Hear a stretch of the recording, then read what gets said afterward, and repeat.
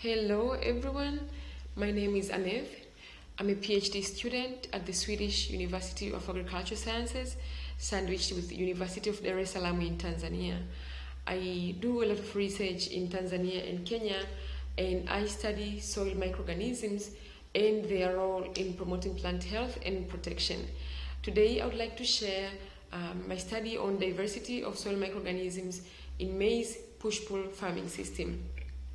I will go through a background and then the methods we used to get the, the results and share some results, uh, some findings, but also a conclusion. Beginning with a bit of background, let's talk about what push-pull technology is. So push-pull technology is an integrated pest management approach that smallholder farmers in Eastern and Southern Africa use to control an array of pests so they use it to manage stem borers, they use to manage fall armyworm, but also a parasitic weed known as striga. So this technology employs an intercropping technology, intercropping approach. So it's called push-pull because one of the intercrops, known as desmodium, releases organic compounds into aerial organic compounds which send a signal to stem borers that this is not a good place to lay eggs.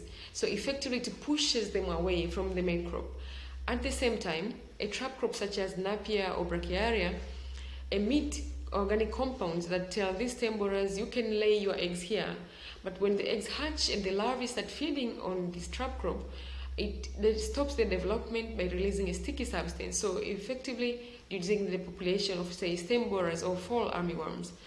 But at the same time, desmodium, the intercrop, releases organic compounds into the soil that trigger suicidal germination of striga. So striga, it's a parasitic weed of maize and sorghum, so it does not grow in absence of these two crops. But in the presence of desmodium, somehow, for reasons which are not very clear yet, uh, it's made to germinate and die before it attaches to uh, to a, a, host which is maize or sorghum, and thus uh, leaving the space for maize to grow, the main crop to grow properly. So another advantage is uh, desmodium is a leguminous plant, so it fixes nitrogen and help in fertilization of the soil. It also acts as a cover crop, adding a, uh, another benefit of uh, conserving moisture in farms. So this uh, is a push-pull plot. A maize looks fine, it looks healthy. When you compare to a maize monoculture plot of the same age at the same site with the same treatment. So the maize is not healthy at all. It's hard to believe it's the same age. And this is uh, maize with uh, mulching as a way to suppress striga, but still it doesn't look as well as the push-pull maize. And this is sorghum. The last picture is sorghum uh, in push-pull farming. So the technology works very well and farmers do use it in Tanzania, Kenya, Zambia, and now introduced in Ethiopia. And the mechanisms of how the companion crop and the intercrop uh, play their roles are known. However, we there are no published findings on how soil microorganisms contribute to effectiveness of this technology. Soil microorganisms are known to help in plant health and protection, such as through biofertilization or biocontrol of diseases. And more recently, there is a strong emphasis on studying how below ground activities of microorganisms influence above ground activities of, say, herbivore or uh, beneficial insects such as pollinators. And also in push-pull farming, the maize coming from push-pull plots has been observed to have low mycotoxin levels, and probably it may be because of differences in soil microorganisms profile. So this study is trying to look at uh, interaction between push-pull technology and soil microbial profiles. How does push-pull influence soil microbial changes, and how in turn do these changes contribute to functioning of the technology? So eventually, we look toward to improving effectiveness of this technology, uh, but also to try to improve uptake by farmers.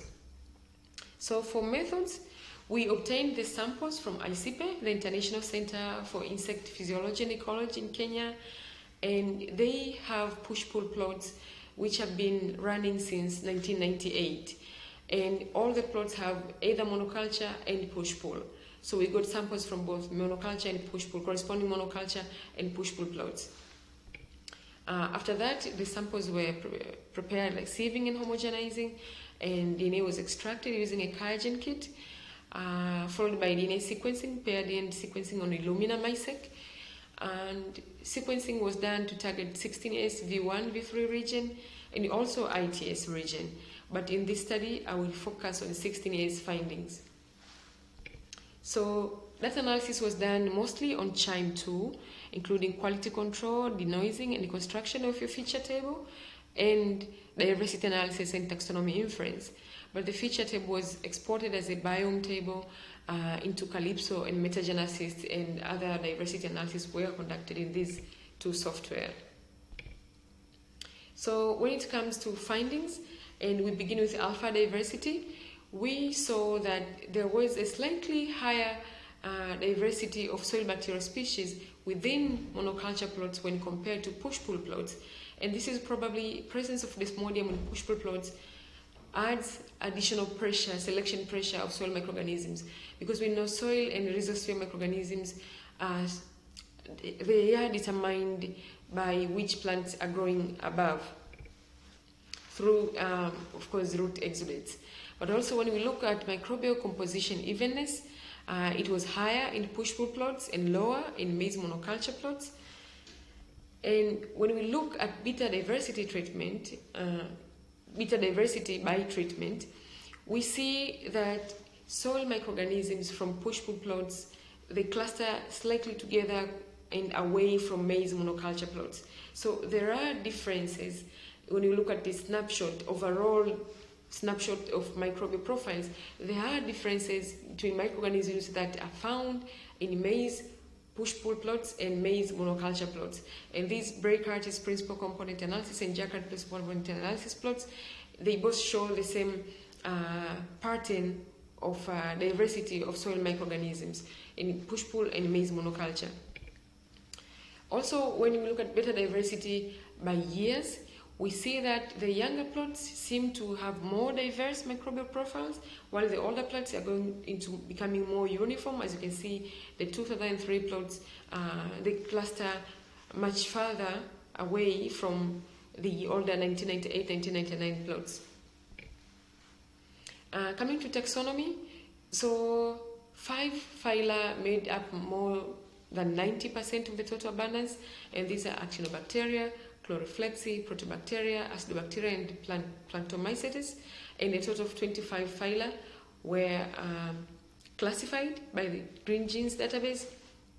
And taxonomy at the genus level was a bit more tricky uh, because many genera were left unclassified, which makes the information a bit less useful. But a total number of uh, 285 genera were obtained. And this just gives a picture, uh, at least some a lot of the genera are unclassified if you look on the left uh, hand side of this uh, pie chart. And a few such as fusarium Talaromyces and Cercophora uh, they are the ones which were able to be uh, classified by their names at genus level. But of the classified genera we see some abundant more in push-pull plots including Ceratophoma, Subulicystidium, Pythia and Myrothecium and some are more abundant in maize monoculture plots, uh, including Chesomium, uh, and Acrophylla. Its plot is not shared. The plot for uh, taxonomy at genus level uh, in maize monoculture plots is not shared here. So we also looked whether sequencing depth was enough to cover the expected diversity of soil microorganisms, and yes, as you've seen from this alpha rarefaction plot, uh, as it becomes, it starts to plateau, then that means all the expected diversity may have been captured. And also looked at correlation, which um, genera tended to co-occur together, which tended to have a negative correlation.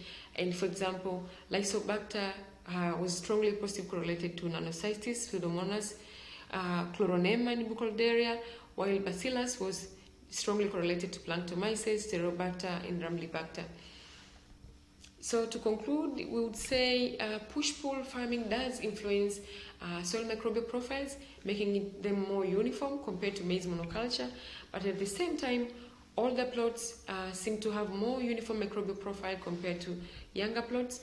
And the limits on classification by databases also set a limit on how much we can use this information, such as in linear discriminant analysis effect size. And we see some presence of some taxa correlated to uh, strongly correl- showed strong correlation to each other, maybe contributing to functional redundancy. And also, we hope that with whole genome sequencing, it may be uh, able to fill the remaining gaps. So, thank you, and I'd like to thank our collaborators, including Sida funding, uh, collaborators in Kenya, also in Cornell University and University of Dar es Salaam in Tanzania. And please let's connect on Twitter. Thank you.